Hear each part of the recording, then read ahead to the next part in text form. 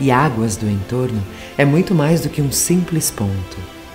É todo um mundo para baleias e golfinhos, tartarugas e morcegos, peixes e aves marinhas. É um verdadeiro ponto de esperançar, onde a luta contra as toneladas de lixo despejados no oceano todos os anos ganha força onde pesquisas encontram respostas para enfrentar ameaças, tanto de agressivas espécies invasoras, quanto do descaso do ser humano com o planeta em que vive. E para essa luta é preciso dar as mãos as mãos invisíveis da esperança. Esperança é famosa por ser a última né, a morrer, mas eu acho que ela não morre nunca.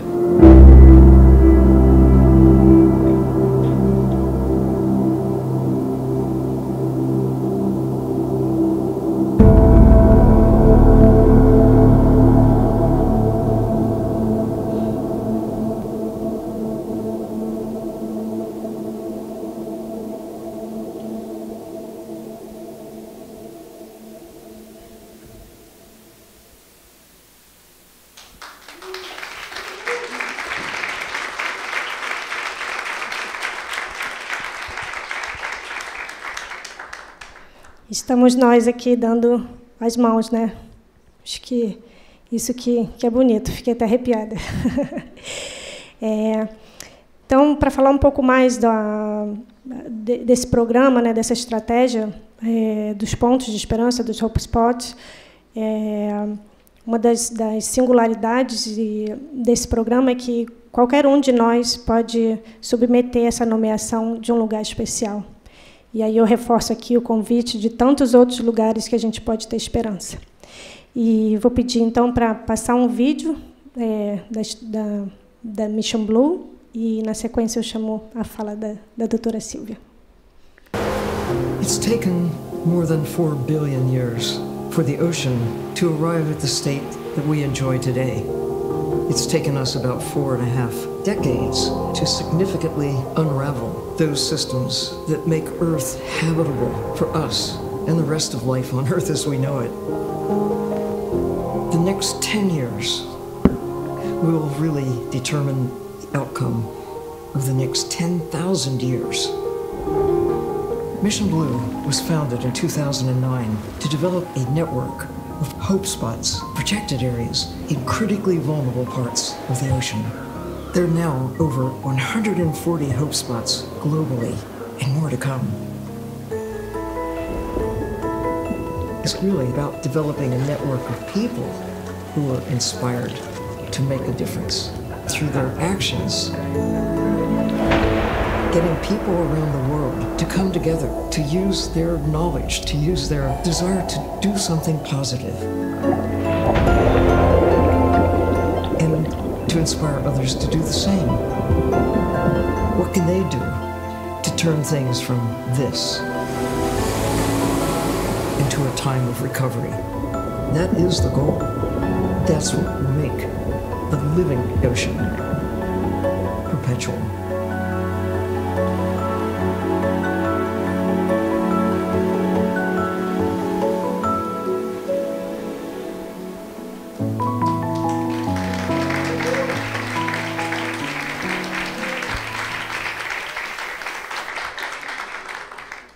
Agora, então, tenho a honra de convidar a doutora Silvero, é, oceanógrafa, exploradora em residência da National Geographic, nomeada cientista-chefe da NOAA e reconhecida, nomeada pela Time Magazine como primeira heroína do planeta. Her deepness, please. Stage is yours. Thank you.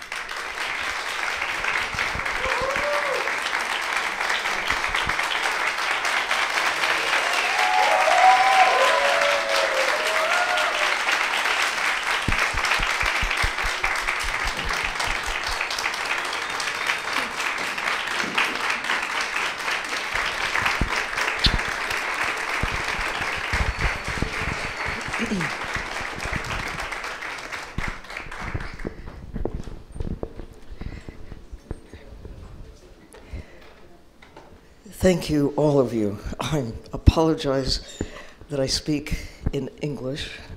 I speak whale, a little bit of fish. Um, I thank you for having me here to celebrate this moment in time. It is, I think, the best time ever, the best chance we will ever have, we 21st century human beings. I was listening to the presentations this morning. I thought, just imagine if we could have that knowledge, that information, that insight in 1992 when nations came together here in this city to deliberate really for the first time in a, in a global way.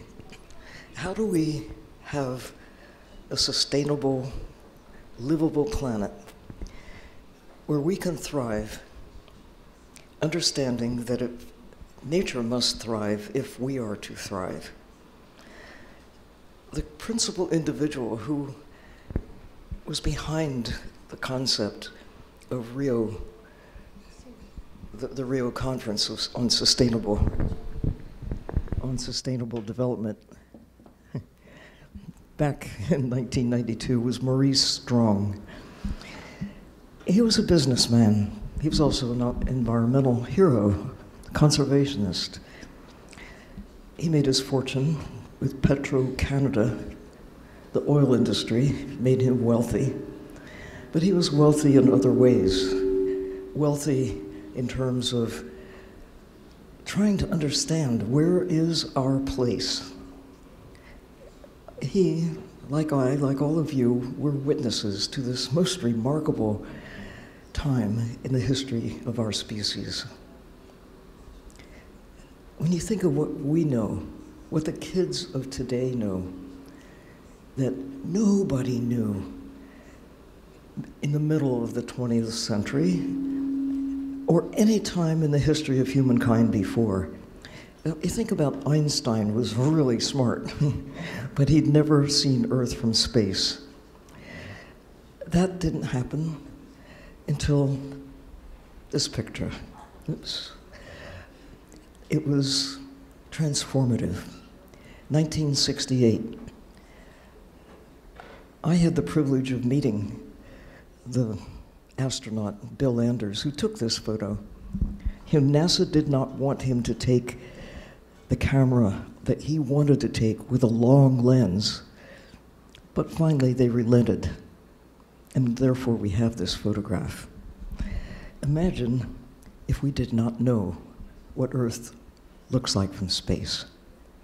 But we do. And it changed not everything, because we still have a lot that we have to change if we are going to succeed in finding harmony between ourselves and nature. But we're off to a great start. And by 1992, laws were beginning to change.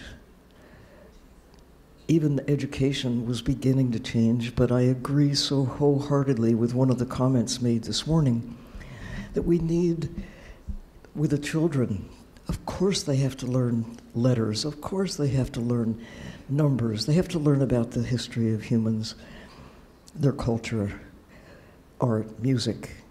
But all of us, doesn't matter how old or how young we are, we must come to grips with the fact that everything we care about is dependent on taking care of the natural systems that make Earth habitable.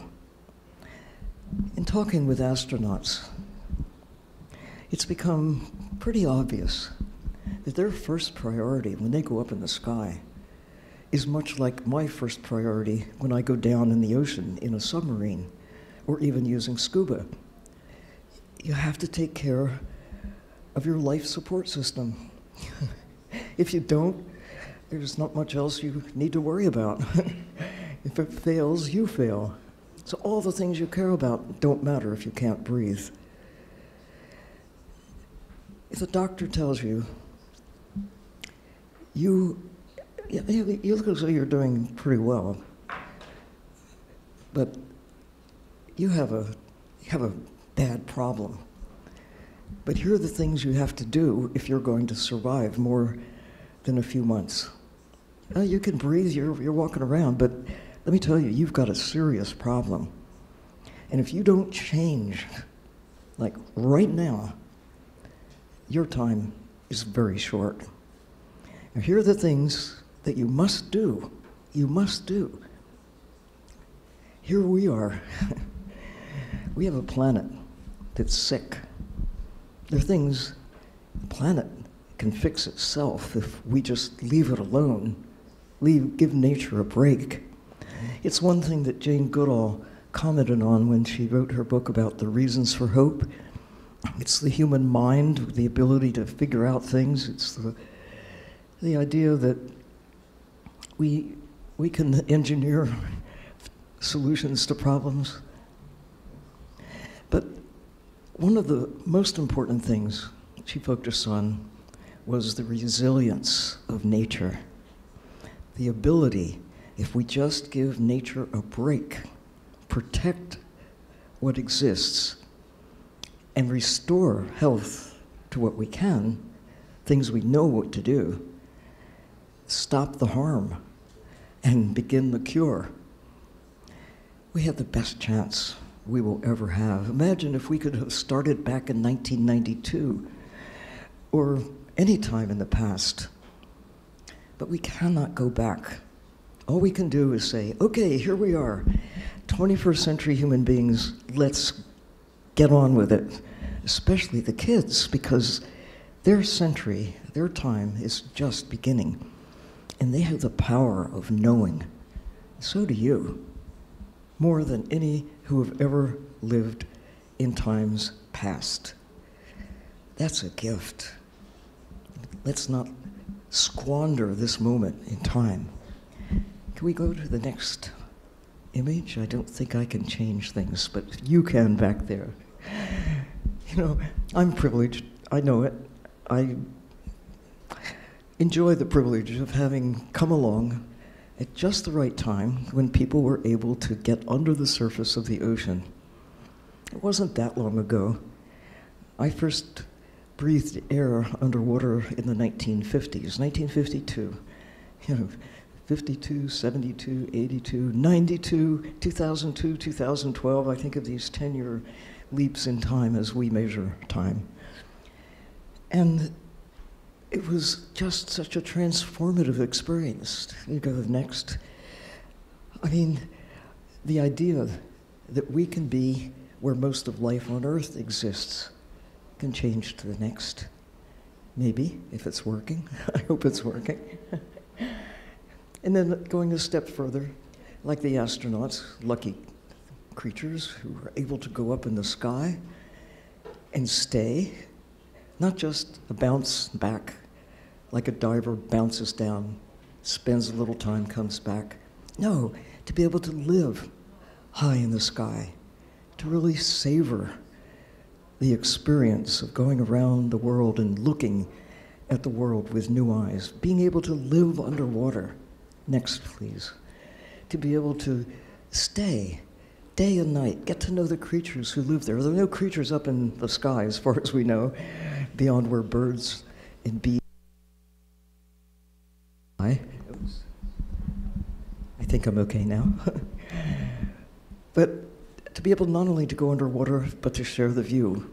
With that kind of equipment, I could speak by satellite to people all over the world. I actually participated in a television communication next while I was underwater. I mean, it was just something that was unimaginable when I was a child. And most of all, the opportunity to get to see life in the sea from their perspective. Again, thinking about Jane Goodall, the ability to spend years in one place getting to know one species, chimpanzees, pretty well. I mean, others do this too. I think about George Schaller, getting to know pandas, getting to know snow leopards. On the land, you have that capacity to, you know, As air breathers, we can look at our fellow air breathers, whether they're birds or bats or bees or, or mammals what, or trees or whatever. But underwater, we are really newcomers. And yet, that's where the greatest diversity and abundance of life actually exists. We're just coming to grips with the importance of protecting nature, the fabric of life, made up not just of individual species, but individual individuals. I mean, don't you think that every one of you counts for something? It's all about people, humans. We want to save humans, but you want to be around too, right? As an individual, no two humans are alike, and no two fish are either. No two chimpanzees. Jane Goodall brought focus to that awareness that together we make up a society, together we make up a culture, together we make up civilization. There are civilizations out there in the sea. Whales have language, they have culture, they have communication in, in ways that we can only imagine. And it's true with fish, too. I mean, we're just beginning to glimpse their societies, their communication, their senses that transcend what any of us can know and feel. But we're on the brink of either losing many species, a million are on the line. We could lose a million at least. It's largely not even accounting for what we're losing in the ocean. By the end of this century, this ocean century, it doesn't have to be that way. Next, please.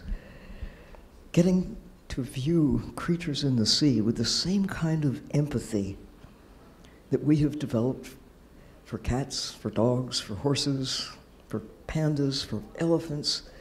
It's not perfect by a lot, but we're getting to understand and recognize the importance of, of life, not just in terms of numbers, not just the quanti- quantifying of the importance of this species or that, what's their role, how does it matter to us, but you want to ask, who are you? How do you live your days and nights? Where did you come from? I mean, do a better job of having a peaceful relationship with ourselves if we'd ask that of other humans, to be more sensitive to who they are, where they come from, and what makes them special. But I, you know, I apologize in a way because I must sound like an idiot talking about fish having feelings, fish having faces, fish having personality. but I can't help it because as a witness, I, I can't not convey that. It's just what I have come to observe. As a scientist, anybody can do what a scientist does observe carefully report honestly what you see. That's the basic role of a scientist. Observe, learn, communicate. All of you can do that. Kids are natural scientists. We could go on next.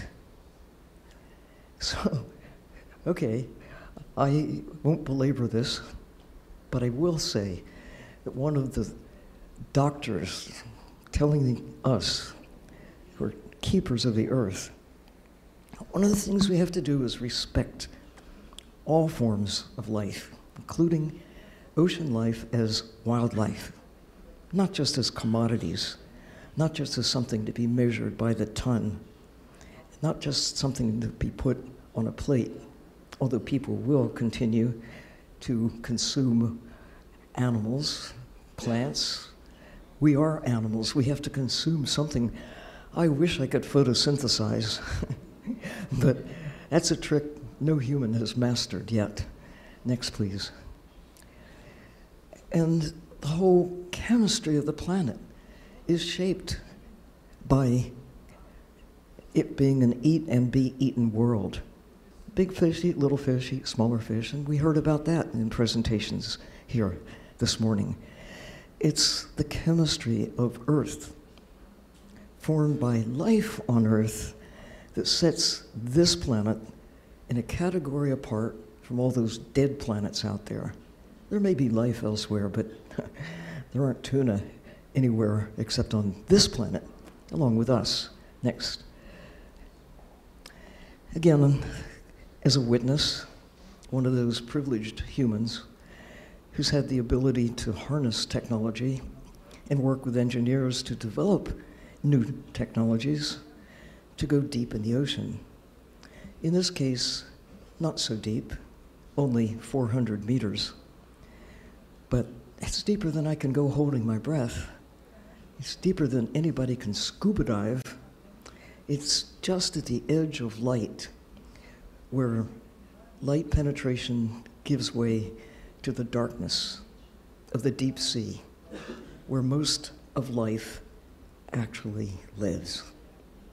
When you think about that big thought, it, it took me a while to get it into my head.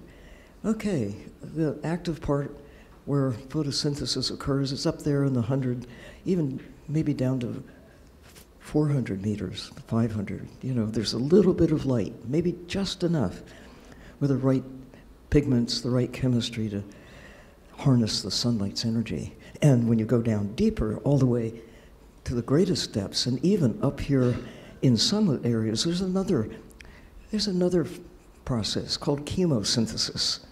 In the absence of sunlight, to generate food from the basic elements, organic material, in the absence of light, in the absence of photosynthesis. It happens in the forest floor, in the Amazon forest. It happens in salt marshes. It happens in the mud around mangroves. Chemosynthesis, churning away, capturing carbon, generating food in a new process that really it's only come into focus. It hasn't really come into focus yet when we start to say, okay, how does the planet work? Where is most of life on Earth? Lives in the dark.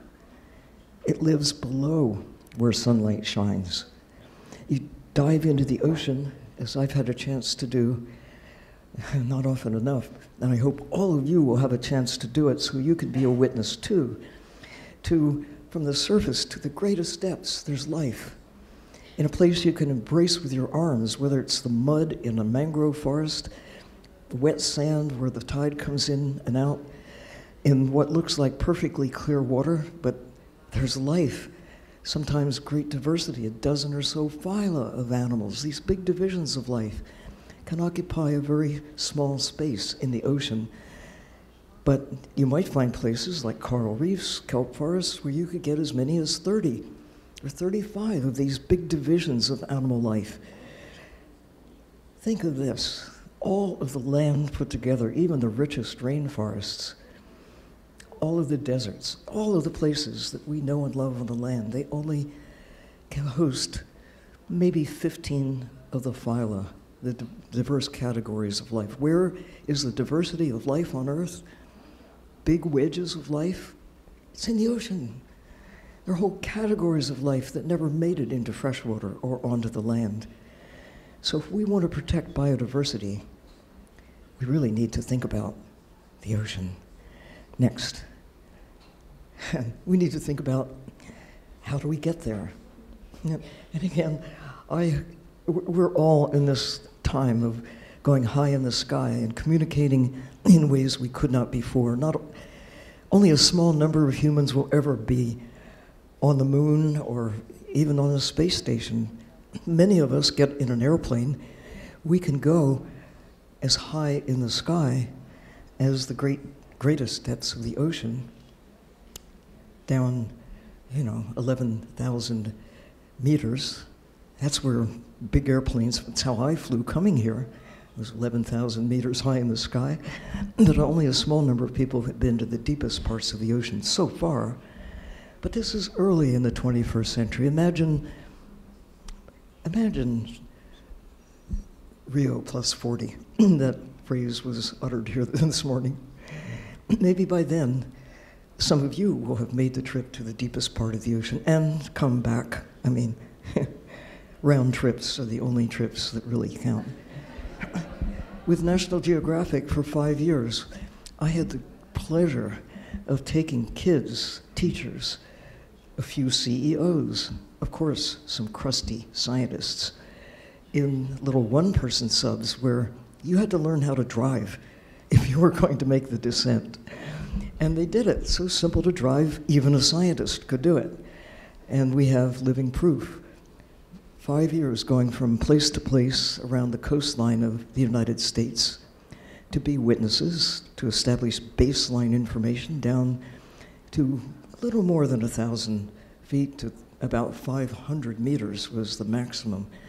But even that, 500 meters, when you think, how deep is the ocean? We're still up here nibbling around the surface. Next, please. But we're getting better.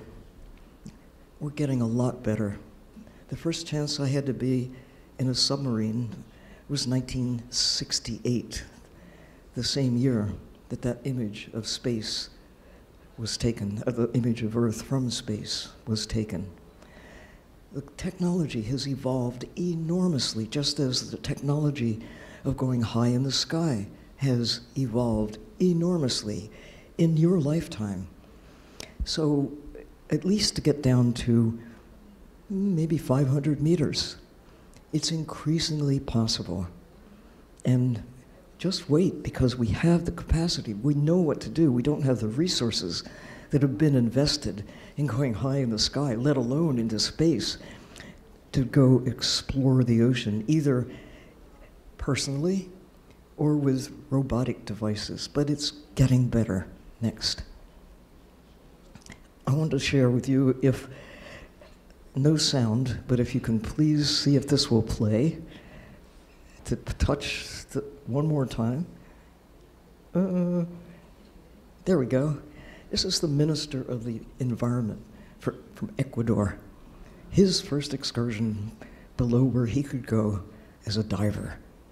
He was a little apprehensive. But it didn't take long before the curiosity, like a child, he was entranced. Okay, let's go to the next image because when we got to the bottom, that's when some magic happened. You never know what you're going to see or who will be there. Next, please. See that little white blob? See if we can make it come alive. Touch, it again, please. There we go. It's a mola mola, an ocean sunfish. This is a thousand feet down. This is 300 meters. And looked like he was trying to bite his ear. Actually, he was whispering, Take care of the ocean, Mr. Minister. and that's what happens to a new scuba diver, or even when you put a face mask on as a snorkeler, transforming kids. We can go to the next, please and to bring out the kid in anybody of any age by diving in.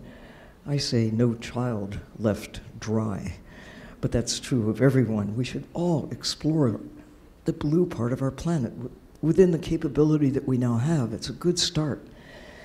And we have technology such as this beast built to explore down to 7,000 meters that's not the deepest place. That's 11,000. But this is where deep sea mining, between 5 and 7,000 meters, is now, it's on the chopping block for deep sea mining. You know, as we're sitting here, the deliberations that are taking place with the International Seabed Authority in Jamaica to decide the fate of the seabed in half of the world. Next, please. This is that same instrument operating at about 7,000 meters in the Clarion Clipperton zone that is in the crosshairs of exploitation. You can play that. And this is just a gentle touch on the bottom with this huge plume of sediment that is stirred up. Imagine if you're deliberately down there to gather up manganese nodules or to pry crusts off of seamounts or otherwise take from this area where we don't know a lot, but we do know it's not an empty barren place, which is what we thought when the International Seabed Authority was formed. We thought no harm could be done if we are able someday to get down in the deep sea and take what is there. It's like looking at the big museums of art around the world and having an appetite for paint. You can pry the paint off the canvas. And there's a market for that paint. It doesn't matter how much of the art that's here is destroyed because we want the paint. We have a use for it right now.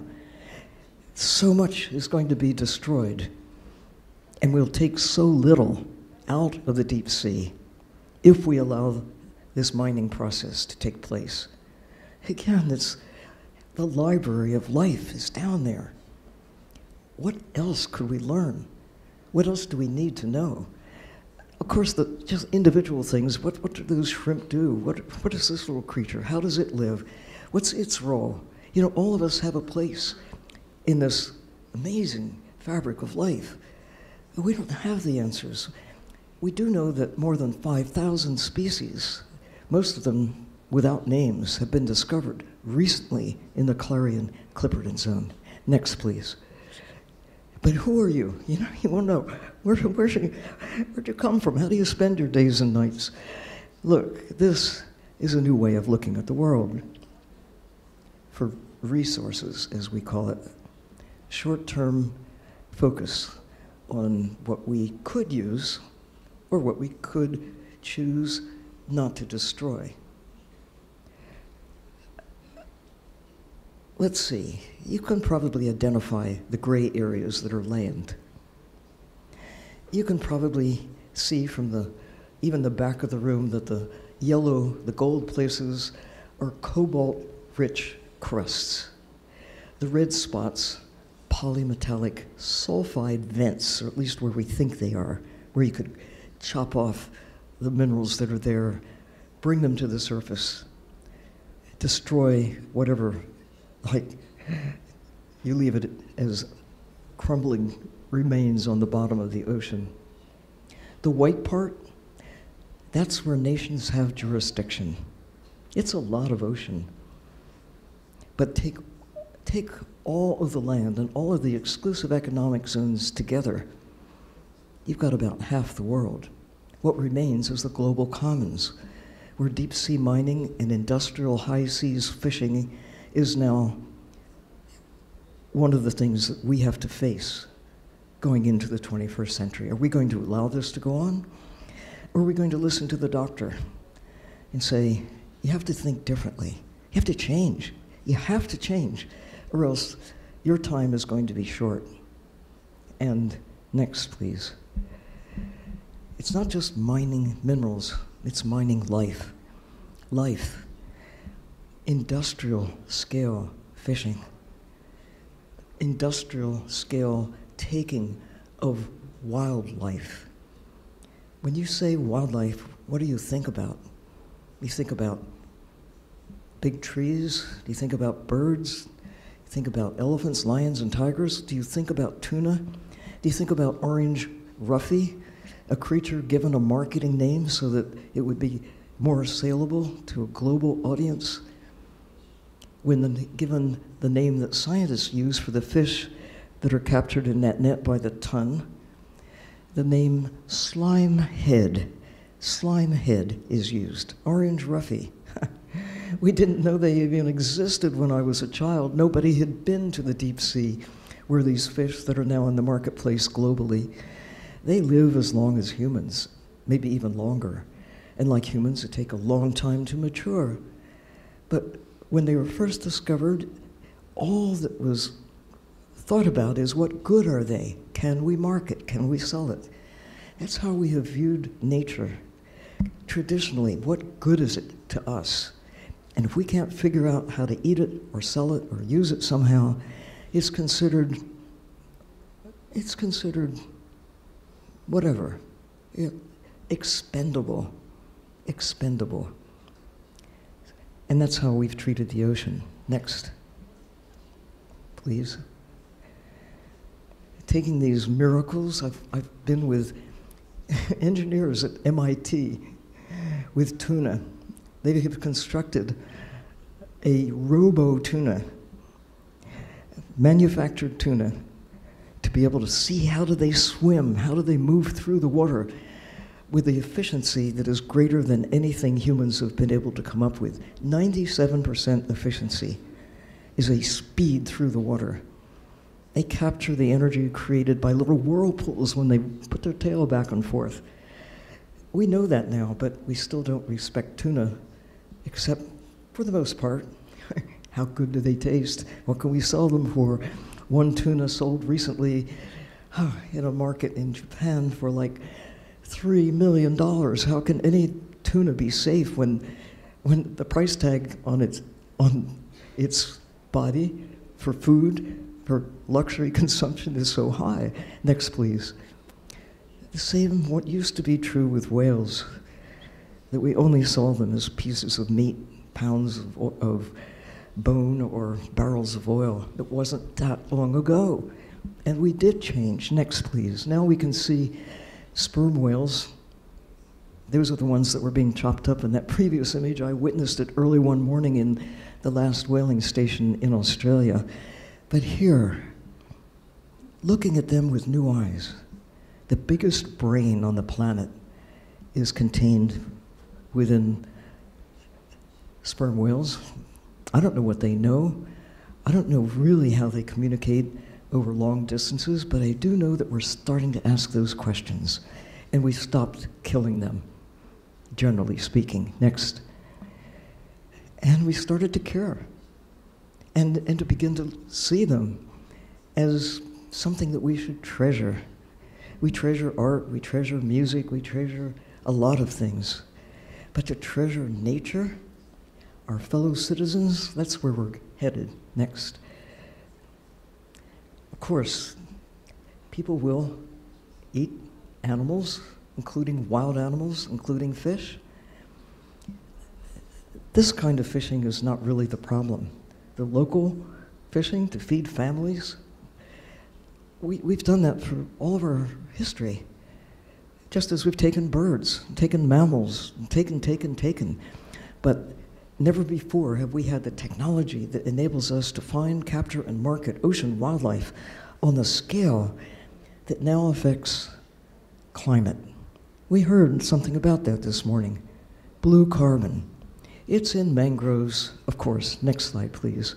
It's in seagrass meadows. It's in marshes. Of course, it's in rainforests and other. But what we're putting into the sea, as well as what we're taking out of the sea, is interrupting those basic functions. Next, please. And we're responding, next, to the action. These are kids taking it upon themselves to get out there. And right here in Rio, I witnessed kids and some of the, their grown up friends, moms and dads, and others who are out there doing exactly that, taking back what we put in the ocean that doesn't belong there. Next. So, what to do? I'm so pleased to hear solutions that were being offered today. What to do? It's not a new idea. National parks on the land, now a growing voice for parks in the sea. Back in, 19, in uh, 2017, there was an optimistic assessment that maybe as much as 6% of the ocean really had good protection. But we've been looking more carefully. So even now, years later, it's like 3% of the ocean is highly or fully protected. We want at least 10 times that in the next seven years by 2030. Next, please. And that's where Hope Spots come in. That's where World Wildlife Fund and Nature Conservancy, the Wildlife Conservation Society, where bankers, where industries, where the government bodies around the world, where kids and teachers, where everybody comes in. What can we do? What can we do to restore nature, to save what remains of the good places that are out there and restore what we can. Why? Because if we want to be around for longer than this little window of time that we now can still breathe and still tolerate the current temperature, we will have to change. We have to. And it should not be a burden. We should say, I know what to do, and let's go do it next. To look at places next around the world, everywhere, the coastal waters of countries next, and next. The polar regions have a magnified impact. And, you know, we have to come together because nobody really owns Antarctica. It is a global commons in a way. By international agreement, we agreed not to exploit the whole continent of Antarctica some years ago, but we kind of forgot about the ocean. Next. The same is true in the Arctic. The high Arctic, there's a bit of the high seas in the top of the world. Polar bears know that we're not taking care of their realm next. But we have the power right now to act, to protect what remains, to take the pressure off. Why are we even thinking of going to Antarctica to take krill or deep sea fish or to do what some companies in some countries aspire to do? Let's go drill for oil. Let's go extract minerals from the high seas around Antarctica. There's a certain amount of governance there. Brazil has a voice in the governance, along with countries around the world who have taken part in the agreement for the governance of conservation of Antarctica. But we have to step up with that vision in mind. We have to change our attitude about nature, that we can't continue to exploit, exploit, exploit. At least we should know before we go. And most of what we know about the ocean is a paragraph as compared to the volumes we have about the land. So, this is one place, Cabo Pulmo in Mexico, where the fishermen themselves came together when their source of their economy, their livelihoods, disappeared I mean, it did. They saw it. They, the fish got smaller and smaller. They had to go further and further offshore. They came together. It's a hope spot now, but it started with the fishermen themselves who said, We can't live like this. And they transformed their economy to something where they could make a good living by crazy people such as I who will pay big bucks to go be swimming in their beautiful ocean they opened restaurants and serviced those people, such as I, who would go. There are solutions. Next, please. We listen to the whales. It used to be, what's a whale worth? Dead. Climate scientists now are looking at whales for their carbon value. A trillion dollars is the value that the International Monetary Fund put on living whales for their carbon. Well, that's a dollar measure, but what can't you measure in terms of dollars alone? What's a whale worth alive? I guess priceless. Next, please. But we're starting to ask these questions. Next. Same with seagrasses. What are they worth? Carbon? Next, please. Kelp forests? You can touch that again just to take us into the kelp forest. They're in the crosshairs now of protection. About half of them are gone already. About half the coral reefs, half the seagrass meadows, and the mangroves globally lost before we knew what we now know about why we should care. Next. In the forests in the sea, next, please. Those little guys that we heard about this morning, those powerhouses. Here you see the food chain in action. We talked about the, the food chain, the passage of energy from phytoplankton to zooplankton to the big fish, and sometimes back to us. But if we keep them in the ocean, instead of allowing their carbon to go back into the atmosphere as methane and carbon dioxide, when we take them out by the ton, just think we've, we've disrupted the natural systems when we remove so much 90% of the sharks are already gone. Next. And the same is true with so many species. We know how to kill, we know how to market, we've got to get better about respecting the other values. These kids, this is Hong Kong. This is wildlife trade central for the planet. You can buy anything and almost anybody in Hong Kong. But the kids love sharks. And they're saying, enough already. Next. It's happening not just in Hong Kong, happening all over the world. Like dinosaurs, kids love sharks. If you left it to the kids, nobody would ever hurt a shark. Next. We have around the world now, not 140, but 155 hope spots. South Africa is one of the places where we have six hope spots along the coast. Next, please. And the kids are very much a part of the action, and they are here in Rio as well. And I have had the pleasure of meeting some of the kids on the beach. Uh, next, please. And I, everywhere you go, meeting kids who are entranced with life in the sea. Next, please. Want to know, what are you, jellyfish? Next, please. Even phytoplankton is being celebrated by some kids with t shirts that have the name Prochlorococcus. I mean, what is that? If you like to breathe, figure it out. Next. So, this is just day before yesterday. And one of your fellow citizens, somewhere in the audience, is among the movers and shakers, Felipe Prufa, a businessman working with World Wildlife and now working with Mission Blue to help change this trajectory. I mean, I, I talked about it in that little Rolex film, but I, I've heard all of you talk about it. We're on a track going in this direction, but it doesn't have to be that way. We have the power to change. That's cause for hope. Thank you.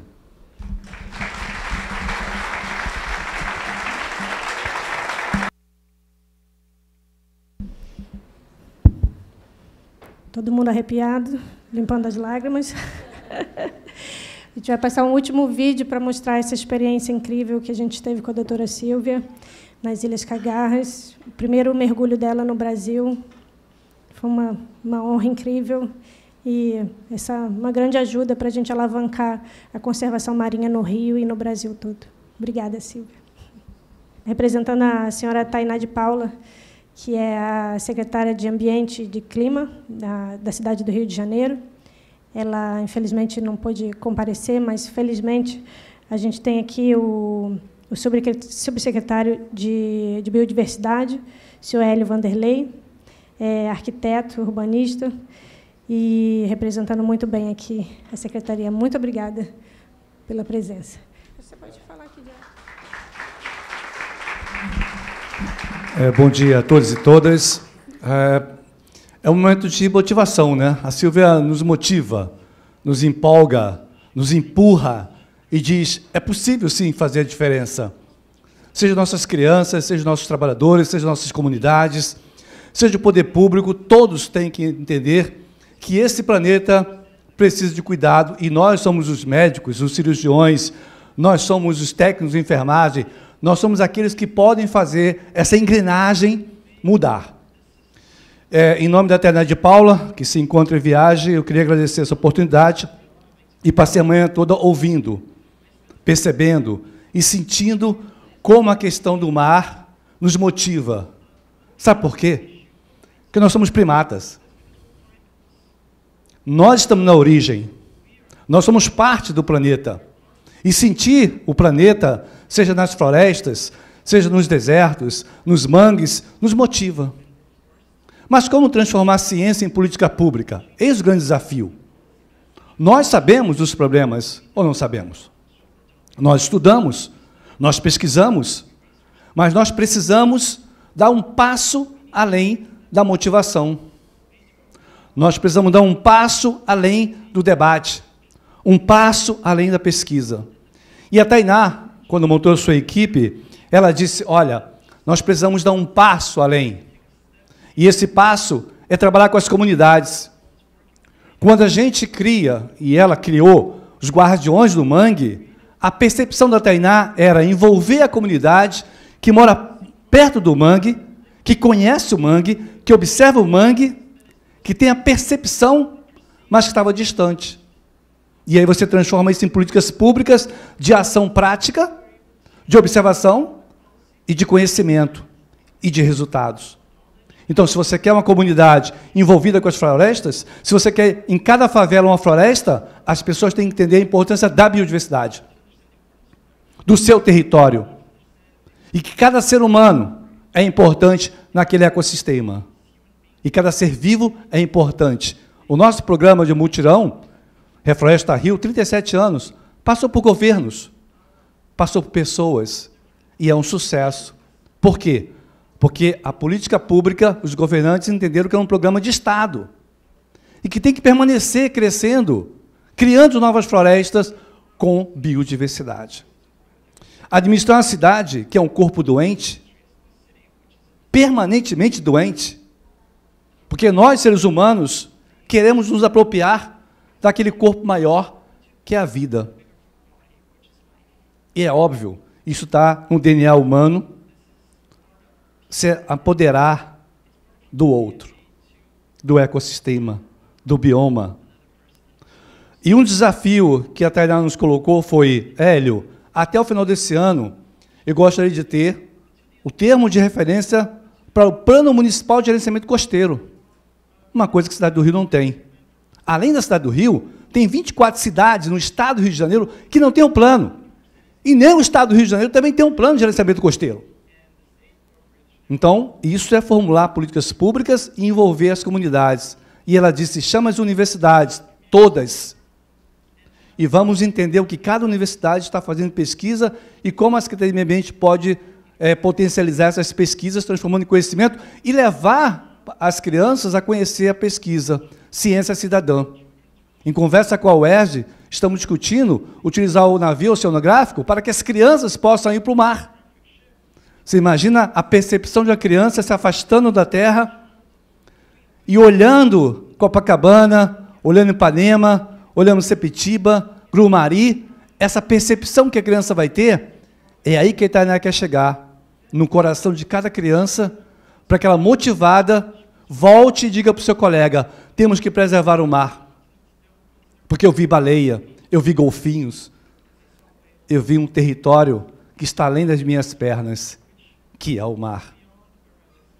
Um ser desconhecido. Então, a Tainá sempre conversa muito com a gente, a equipe técnica, os subsecretários e toda a equipe diz: gente, não podemos ficar teorizando a vida inteira. Nós estamos aqui para formular políticas públicas em parceria com a sociedade. É preciso ouvir os pescadores, as ONGs, as universidades, os empreendedores. Todos devem estar sentados, construindo o único caminho que é da preservação, através não só da mobilização, mas das políticas públicas, com investimentos públicos. E além dos guardiões do, do mangue, temos os guardiões dos rios, que cuidam dos nossos rios, que dialogam com a comunidade.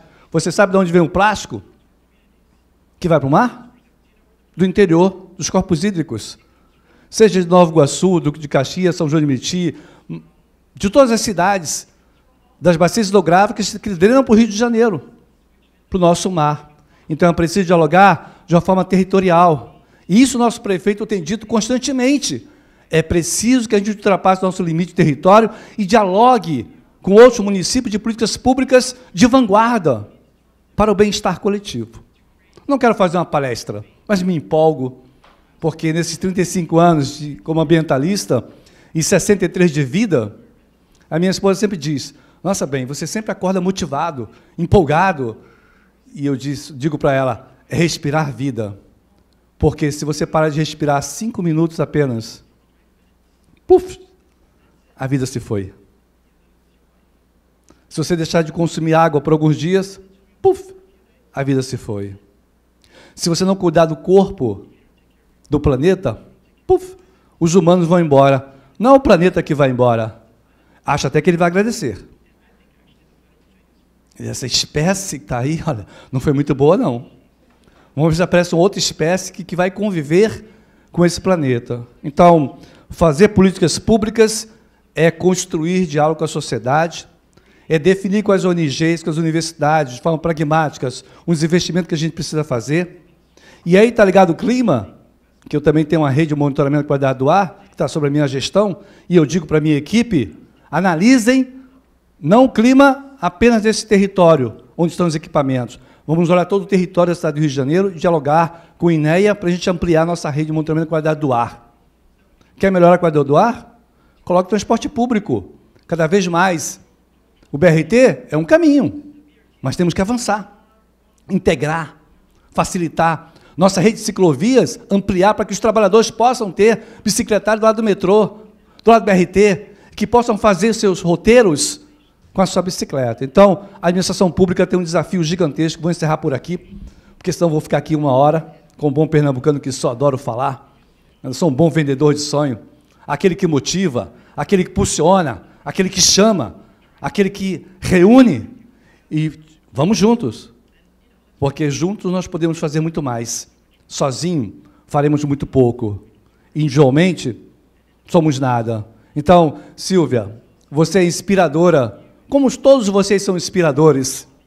Como todas as comunidades tem alguém que nos inspira e deveremos ter o prêmio das pessoas inspiradoras das comunidades, das favelas, das periferias, homens, mulheres, pretos, que lutam pela preservação do meio ambiente das nossas florestas. Viva a biodiversidade carioca, viva o Rio de Janeiro, viva os oceanos. Obrigado.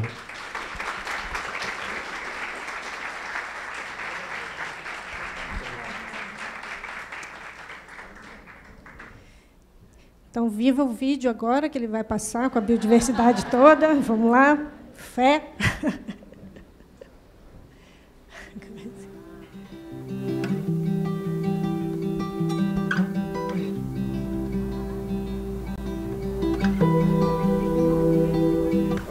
The first experience diving in the waters of Brazil.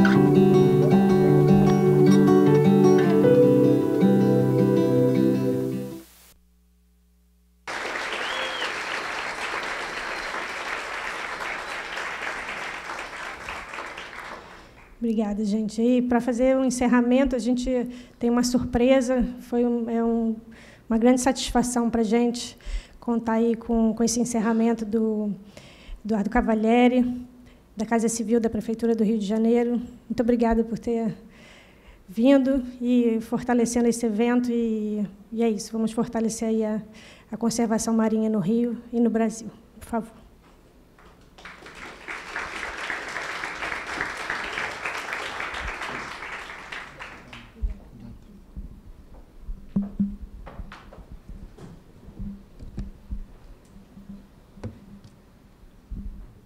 Bom, primeiro, primeiro, boa tarde a todos, boa tarde a todas aqui. É uma, uma imensa honra estar né, tá aqui hoje e vejo várias pessoas queridas, muita gente que né, contribui para que, o, que a cidade do Rio de Janeiro possa avançar, em especial nessa agenda tão importante né, do clima. E saudar aqui especialmente né, algumas dessas pessoas, claro, não vou poder cumprimentar todo mundo, mas dizer que são né, sem dúvida, pessoas que são parte, Silvia, do que a cidade do Rio de Janeiro tem de melhor para oferecer para o mundo. E aí, né, essa inspiração que a Aline e o Clério, Caio, que estão aqui, né, entre vários cientistas, pesquisadores, acadêmicos, né, pessoas que oferecem para a sociedade civil, para a academia do Rio e do Brasil, né, o que tem de melhor. E a gente, né, aqui o professor Sérgio Besserman também, e o Philip, né, que nos apresentou aqui em algum momento para a gente avançar mais, dizer né, o quanto que governo, sociedade civil e academia podem trabalhar juntos né, para a gente avançar. Acho que esse, essa mensagem é fundamental e aí saudar, né, acho que a gente tem aqui né, a imensa honra de receber a cientista, a professora Silvia Earle, né, que nos inspira a todos, e que, como ela bem falou, e aí aproveito para fazer menção, né, o que poderia ser mais incrível num projeto como esse do que espalhar pontinhos de esperança pelo mundo, mesmo que as cidades e que os lugares não estejam ainda preparados para recebê-los, mas para chamar a atenção da academia, chamar a atenção da imprensa, chamar a atenção dos governantes. E aí esse é o, o papel de quem está no poder público, mas de ter a sensibilidade né, de entender até onde chegamos, aquilo que muitos já fizeram para a gente estar tá aqui, e o que, que a gente pode oferecer para a sociedade né, para que a gente olhe para frente.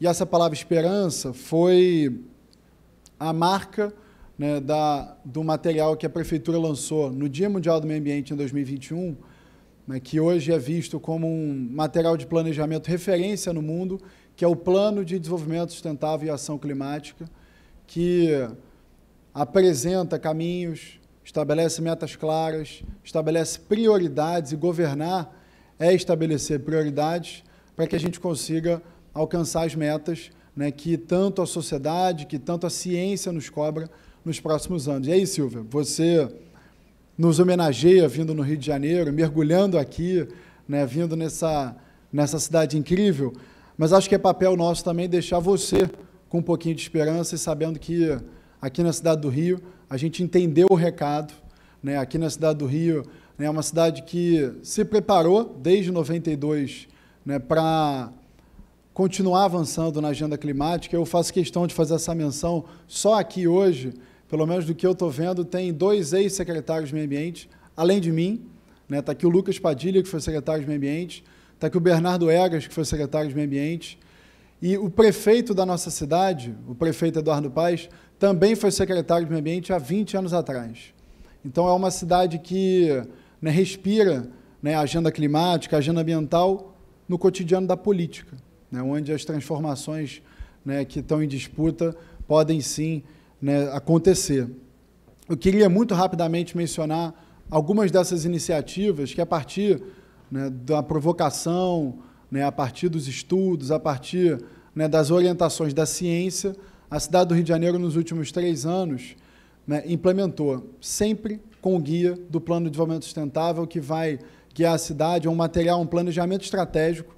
O professor Jeffrey Sachs, né, num evento com o prefeito Eduardo Paes, algumas semanas atrás, em Paris, onde eles lançavam juntos com a prefeita Hidalgo né, um, um banco de financiamento climático para as cidades, o professor Jeffrey Sachs pegou o Plano de Desenvolvimento Sustentável e Ação Climática da cidade do Rio de Janeiro e falou: isso aqui é política pública que olha para o futuro, né, que estabelece metas claras e diz: precisamos agir agora. Se a gente não se unir, se as gerações não se unirem para agir agora, a gente não vai conseguir enfrentar os desafios dos extremos climáticos. E nesse, nesse material, professora, né, a gente, nos últimos três anos, a partir desse planejamento, a gente criou cinco unidades de conservação na cidade do Rio de Janeiro, Prefeitura do Rio, cinco unidades de conservação terrestres e uma unidade de conservação, né, criando um santuário de vida marinha aí, sem dúvida nenhuma, né, inspirado né, pelo dia 17 de abril de 2021, 16 de abril de 2021, quando né, a, gente, a cidade né, tomou conhecimento, se tornou público né, esse pontinho de esperança nas Ilhas Cagarras, nas áreas né, vizinhas às Ilhas Cagarras, no Parque Paisagem Carioca. E um ano depois, com estudos, com planejamento, com todo o envolvimento da sociedade civil, né, a prefeitura criou em 2022, em agosto de 2022, eu já não era mais secretário de meio ambiente, já estava disputando a eleição, já tinha saído, mas o trabalho continuou. Eu acho que essa é a mensagem importante. Com planejamento, né, com os técnicos da prefeitura, com os concursados, com a sociedade civil. Né, um ano depois, se criou o Santuário de Vida Marinha, né, pegando a área do entorno do, do Pão de Açúcar, né, ali reunindo, que aliás é um grande santuário de biodiversidade, como vários mencionaram aqui, onde a professora mergulhou na foto que estava ali com o Felipe. É, e por que, que isso é tão importante para uma cidade como o Rio de Janeiro? E aí, muito rapidamente, né, o Rio de Janeiro pode ser, e esse é o, o papel né, de uma cidade como o Rio, pode ser um grande laboratório de soluções né, na, área, na agenda climática, não só para o Brasil, mas para o mundo. A gente tem um ecossistema ultra complexo, uma cidade espremida entre o mar e a montanha, né, em que a gente pode experimentar soluções, enfrentar os nossos problemas. É bom dizer, né, a gente tem muito problema e precisamos, precisamos avançar muito. Imagina, a cidade do Rio, na primeira metade do século XX, foi a cidade com a taxa de urbanização mais rápida da história das civilizações recentes, das cidades né, que se adensaram recentemente nos últimos anos. Né, a gente precisa enfrentar os problemas de uma cidade, um grande centro urbano, 7 milhões de pessoas na cidade, quase 13 milhões de pessoas vivendo em torno da Baía de Guanabara e, claro, muitos problemas. É, mas, com um plano de voo e com metas claras, eu tenho certeza que a gente consegue olhar para frente com esperança.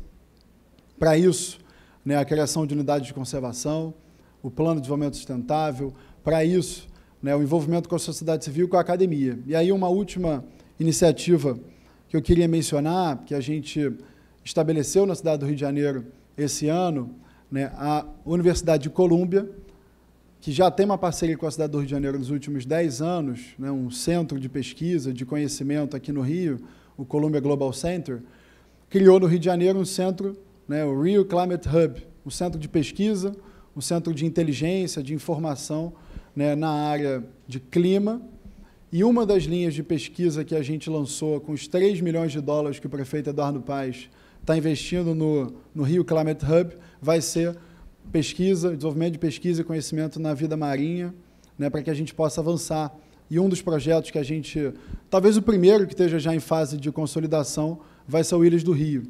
Então, né, se isso ainda não era público, é bom que a gente torne público aqui, mas né, vão ter pesquisadores vindo de Colômbia, vindo dos Estados Unidos para cá. A gente vai enviar pesquisadores daqui do Rio né, para os Estados Unidos. Vamos financiar né, papers, artigos científicos nessa área na área de conservação da vida marinha.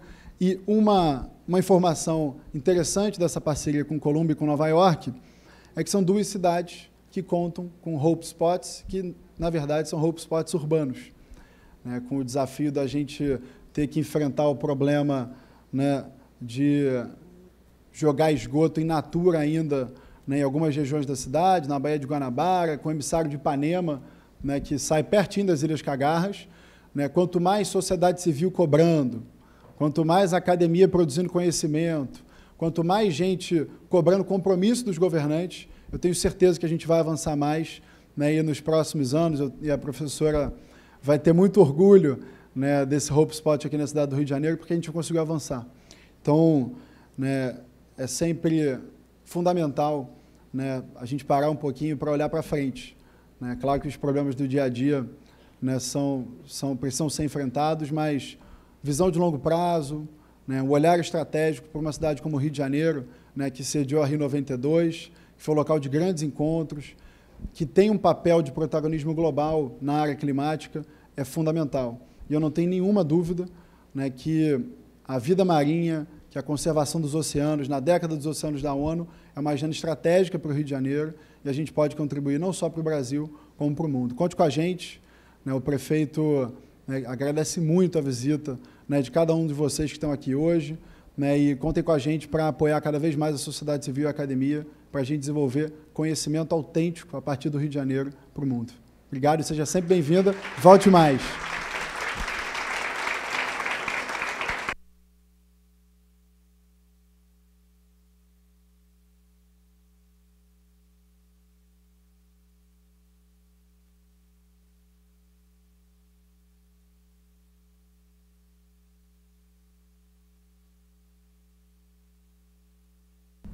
Alô? Ah, pronto.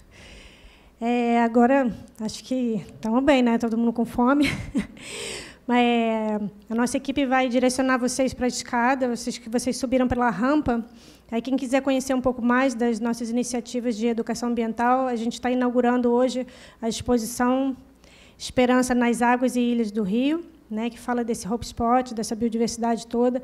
É uma exposição que está sendo realizada em parceria com o ICMBio, Mônica Garras, Tati, valeu demais. É, contamos com a parceria do Museu Nacional através da sessão de ensino. Está aí o Fernandinho, muita gente, né? A Débora, a, tinha a Cris também lá atrás. É assim que a gente faz ciência e divulga esse conhecimento para todo mundo. Obrigada a todo mundo e vamos lá almoçar. Obrigada.